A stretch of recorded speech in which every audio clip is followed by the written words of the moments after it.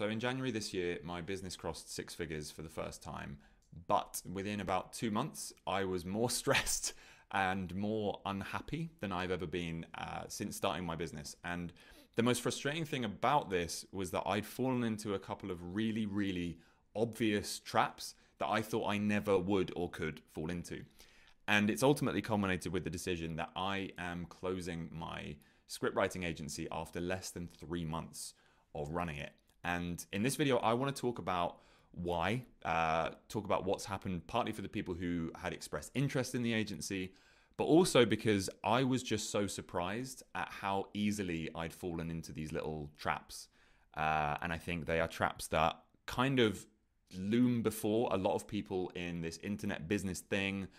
Uh, online entrepreneurs, solopreneurs, YouTubers, um, any any of that kind of thing. So let's talk about it. And ironically, this is not a scripted video. I've got some some notes here, uh, but I kind of want this to be like a free flowing conversation. And also, I'm very out of practice on camera, and so trying to teleprompt this would be a nightmare. So we're going to just go like this, and um, yeah, let's let's talk about it. So to start off, why I started the agency. Let, us talk about that and uh, kind of you know clue you in on how things started to unravel, basically.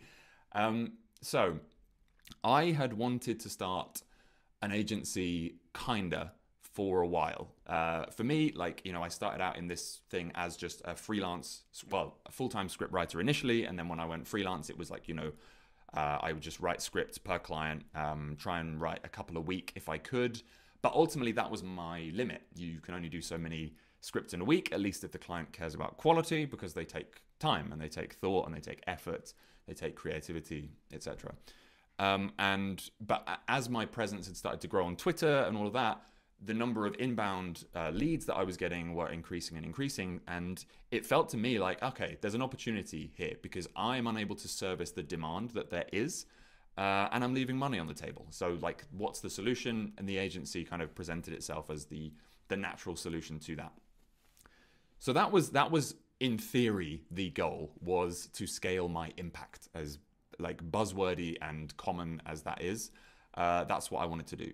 But to be completely transparent, and I think this is something that people in this space should be more transparent about because I suspect it plays more of a role than people are often willing to admit. But I, of all the projects that I have started in this business, the agency was by a mile the most money focused thing that I have ever done. Yes, the scaling and the impact and all of that stuff was there because like this is a problem I've been wanting to solve for ages and you know how do you solve it? I guess an agency is, is the way. Um, but the dollar signs were hanging over my eyes in a way that they hadn't done with anything else because I've got friends that run agencies and we see people on Twitter sharing how much money they make from their agencies. And you know, who wouldn't think, ah, I could get to a point where I'm running an agency that does $100,000 a month and where I barely have to like put any work into it because I've like outsourced everything and whatever else. That sounds pretty good uh, to, to most people and it sounded good to me. And we had the demand, like I knew that as soon as we set it up, we had a you know a big waiting list. The first few clients that we got in for our launch, like we had some like big, big creator economy industry names in there.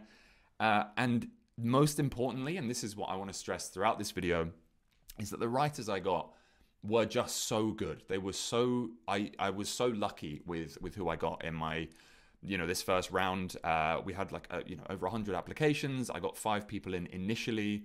Uh, but there were a few more people on the list who I was like kind of earmarked as oh they, they could be like pretty good and you know when we need to expand we'll we'll talk to them and but anyway these, these first five people that I got were just you know were, were brilliant and they had a really already a good understanding of YouTube, but they were super responsive, they're timely, um, just really, really easy to work with. And so nothing about the like uh, nuts and bolts of running this thing was a problem. Um, you know, I couldn't have been luckier with the writers that I got and and the clients that we got to start off with. Um, but then I started to notice something. Uh, and I think this relates to this like not money first. I don't know if money first approach is the wrong way to phrase it, but like a uh, you know a money weighted approach to uh, running this thing was that I started to get the Sunday scaries back.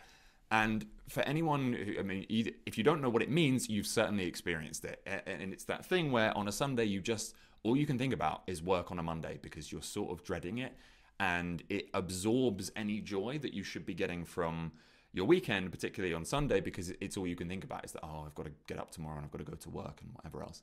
And I was feeling that. And I haven't felt that since I had a normal job um, a long time ago. And I've been, I feel like so privileged to have not been feeling that. Uh, and yet it was coming back. And it was for a job that I had created for myself. Um, and there were a few other little things that started to kind of um, that I started to realize weren't weren't quite right. Like there was an occasion I was uh, with my girlfriend Julia and her mum, and um, Julia's mum was like driving us from her house to my parents' house because my parents live very nearby. And I was so convinced, I was so like, I, you know, in this kind of work mode where I'm like, I'm busy, I'm a stressed agency owner, I can't stop, that I wouldn't stop working even for the like the short journey from Julia's mum's house to my parents' house. And it's 20 minutes. But I was convinced that I don't have time for a 20 minute break in the middle of the day. And so I sat in the back of the car like this little horrible work obsessed gremlin, just refusing to stop work. Well, not refusing. It's not like they had to drag me into the car or out of it. Um, but, you know, I was. It just wasn't a mindset that I wanted to be in. And I feel like I you know, I've, I'm, I try not to be a rude person ever, but I was definitely, you know, bordering on, if not straying into just being just like a, a rude little self-obsessed gremlin boy. Uh, and, uh, and that's not good. And, you know, then these other thoughts start to come in. And I don't know if anyone in this space who's kind of like, you know, you're, you're building all these things, you've got all these projects going at once. And occasionally you start to think, wait, wait, wait, how, how do I, um, how do I take holiday? Like, how do I do that? How do I ensure that when I go away with my family in the future, I don't have to be like just I just need to check the laptop this evening because that's what I did. I was on holiday with my my parents and my girlfriend in uh, January, and, and actually with my friends as well. And it was you know we'd we'd go skiing in the day, which was like great, and then in the evening it would be like no, I need to work. I need to I need to check my laptop. I need to review some scripts. I need to whatever else. And this picture of what my life was was going to become and was already becoming was kind of laid out before me and it didn't look good. And it came to a head last Friday, this time last week. I'm recording this on a Friday when I I'd gotten up early to try and get some work done, and uh, my girlfriend Julia takes Fridays off. Uh, she's also, you know, self-employed, uh, has control of her schedule, etc. And she takes Fridays off. I'd gotten up early, and she came down you know, a couple of hours after I'd gotten up like stupidly early to do some work. And it was really sunny outside. And I had more deadlines than I think I'd ever had for that Friday. Um, and again, this is not because of the writers, like, as I say, all super timely, super talented. It's purely the number of things I was having to oversee. And I knew that, like, I couldn't, I, I am miles off being able to even to take a day off let alone even being able to go out for you know just like a nice coffee uh, on a sunny day to enjoy some time with her or you know on my day off.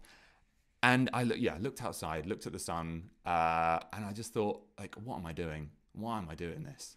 Um, i'm stressed i'm unhappy um, and i you know the business did six figures without this. Like i didn't i don't need to be doing this to make a really really like unbelievable living. And um and so yeah we talked about it and i verbalized these things and within like half an hour it was like yeah i i need to i need to cut this off because you know i i'm very fortunate that i've had very good mental health my whole life for whatever reason. Not gonna like speculate on on why but like i'm very lucky in that regard. And i know not not everyone is that lucky. Uh, but the result of that is it's kind of easier to spot when it's not so good. And I think in that moment, all these kind of revelations started hitting me, and I was like, I was a, you know, choice of swear words here in the back of your mum's car the other day, and I I was a bit stressed on holiday when I should have been relaxing, and I can't go out for a nice, you know, lunchtime coffee with you on your day off because I'm busy agency owner boy, and I don't have time to stop, and it just it was it it started to become stupid. Um, and so I made the decision but then comes all these things that uh, the kind of byproducts of these decisions that we make when we're running a business. And for anyone who has ever like tried and failed at a thing, um, you you'll probably recognize that that kind of worry of like, hey, what are people going to think of me? We're so public with everything that we do on Twitter and YouTube and anything where we're like sticking a camera in our faces and talking or just like being super open about how our business is doing and what its turnover is and margins and like all of this stuff and expenses and blah blah blah. Um, I know other uh, economic words. Um, it starts to uh, you start to think like people are judging me and they're watching every move that I make. And if I admit that this project wasn't for me, that I wasn't cut out for it, what are people going to think? Is that going to impact my personal brand? What about my reputation? Um, and then the other side of it is I've got these five brilliant writers who uh, have done nothing but good work for me, and I'm gonna have to tell them that this thing that you know I got them on board for, got them excited about, I hope maybe um, I can't deliver on anymore. Caveat at this point, like if you I'm figuring out that you know the best way to, to do this. Um, but the five people that I hired, you know, I stand by everything that they've done. I vouch for them 100%. I stake my my reputation on them uh, going forwards. You know, I'm already putting them in touch with people that I know are in need of writers, um, and I'm doing anything I can for them to help keep this part of their careers going because uh, you know they've all been brilliant. Um, but yeah, those conversations had to happen, and they were all extremely gracious on those uh, those calls. I was expecting a lot of pushback. Um, you know, I I've been let go from things or from a thing in the past, and uh, I just remember how I felt, and it's not quite the same because it you know it wasn't they weren't contracted, but I was just determined to try and do this right um, because I didn't want them to feel how I remember feeling. Um, you know when when a similar thing had happened to me in the past. And they they were just so gracious about it as were all the clients. You know everyone everyone who's concerned has now been told about this um, so ultimately, like those extra fears that start to come in, they don't matter in comparison to how you're feeling and in terms of your mental health and in terms of just being able to like if you have the freedom to build a business in the way you want to build it why build it in this like bizarre tangential direction just to make a little bit more money or maybe even a lot more money? But if you're miserable every day what's the point? Um, and that's kind of the the point that i i came to.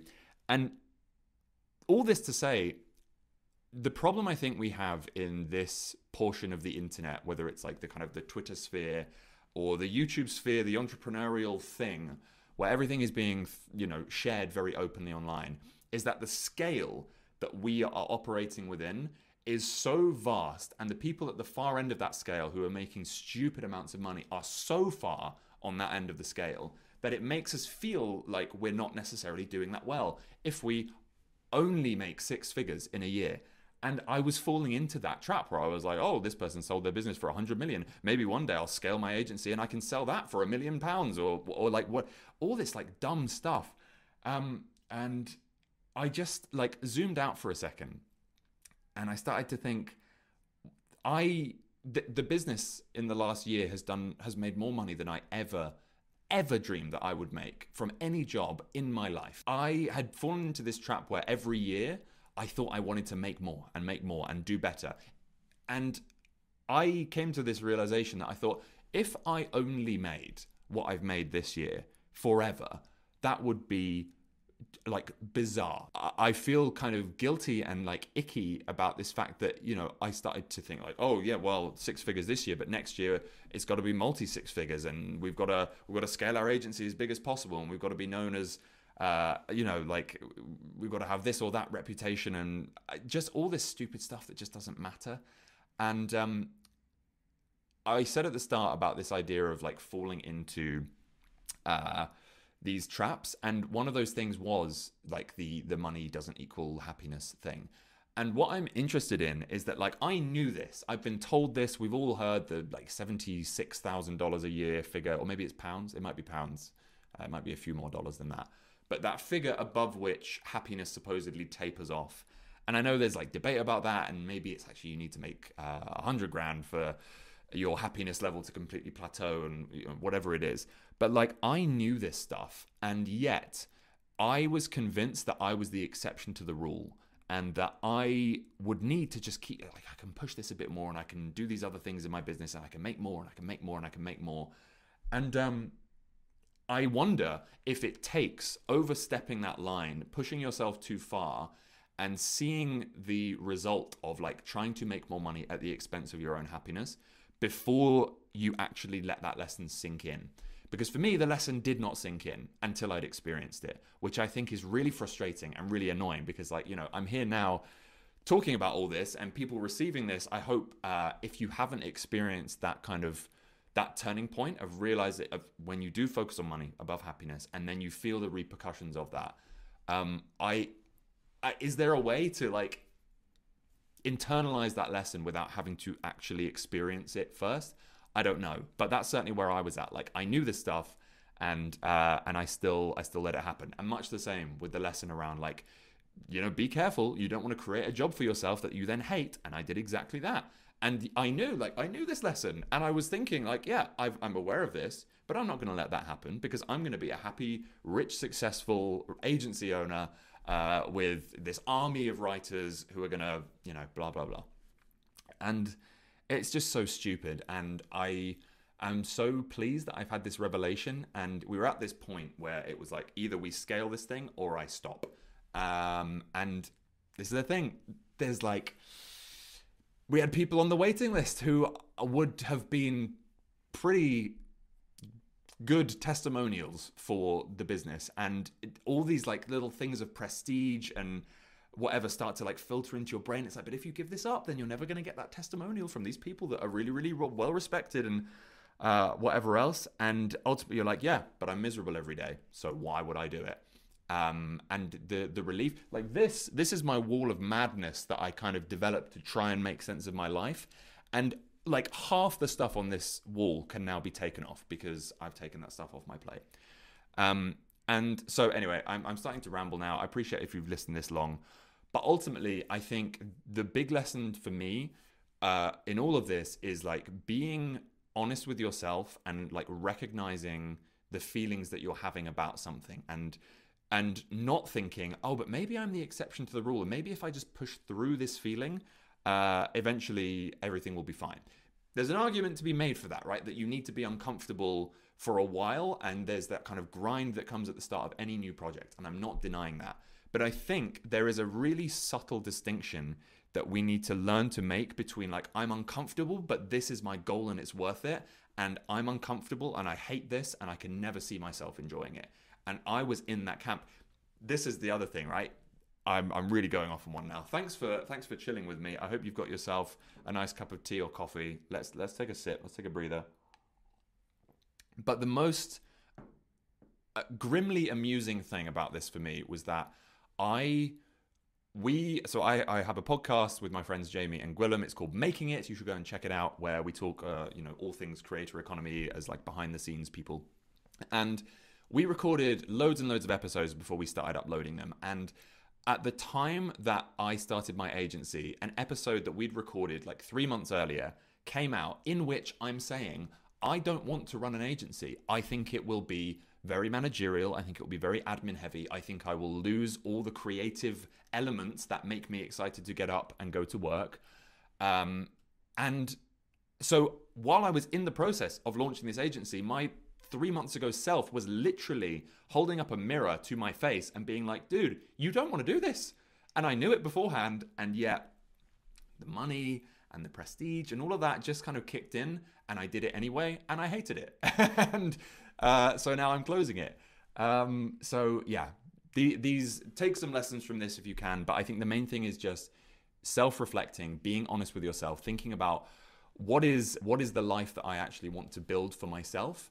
Uh, and for me, it's going out for a coffee uh, with my girlfriend on a Friday at lunchtime when I should be working because I have bought myself back my own time essentially. Uh, and you know, it's being present when I'm with my family members, and it's making more time for friends. Um, like I, you know, I, I'm in a comedy double act, and I haven't written anything for that in months because I'm like I'm too busy, and that's another huge, like, valuable part of my life, which I feel like I've been neglecting. Ollie, if you're watching, I mean, we've spoken about this anyway, but thank you for writing all of our stuff for the last six months and for keeping the TikTok going. Um, I also have TikTok with Ollie. Um, and so, all of these little things what are your priorities? What is it that you actually want your life to look like? Uh, I appreciate that it's not always possible to bend everything to the exact shape that you want it. But ultimately, if you are starting to hate what you're doing, uh, if it's feasible, you should stop doing it. And if you have the flexibility to do that, uh, then there's no time like the present. And I'm so much happier than I was a few days ago. Um, and in fact, to, to end this video, you may lose uh, what I'm saying because my mic is here. We're going to do a ceremonial wall of madness destruction. Okay. This all agency gone, gone, gone, gone, gone, gone, gone, Ah. gone, gone, gone, gone, gone, gone, gone. Yes, all of this gone. oh. Mwah. So, thank you for watching. Uh, and good luck with whatever you're doing. I'll speak to you soon.